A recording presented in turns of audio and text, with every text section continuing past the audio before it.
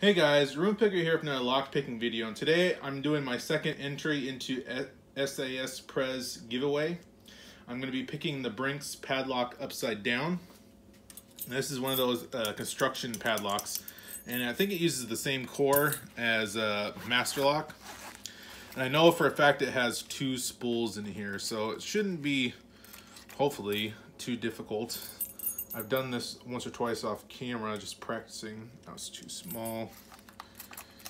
It's about 50 thousandths. Actually, you know what? I don't want 50 thousandths. I lied. I want this tension bar.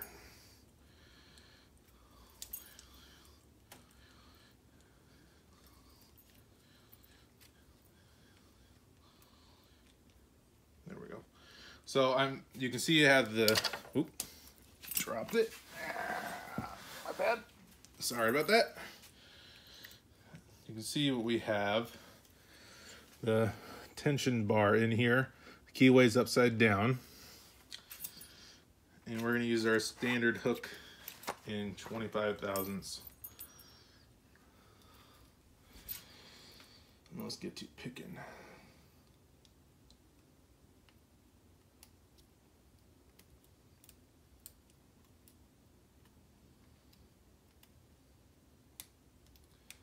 Already I can tell you for a fact that this is a weird experience because I'm not used to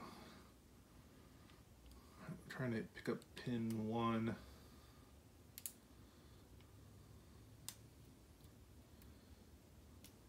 I think I keep oversetting pin one.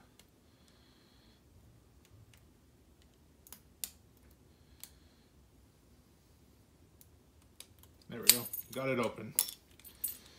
And we can see real quick that the key does work. Right side up. This isn't my favorite padlock, but I do really like these Brinks style padlocks because I, for learning spools, they have really good feedback and they, they teach you a lot. That's why I like Brinks. You can see the bidding on the key. So we got okay bidding for a beginner security pin padlock. But uh, that's all I got for you guys today.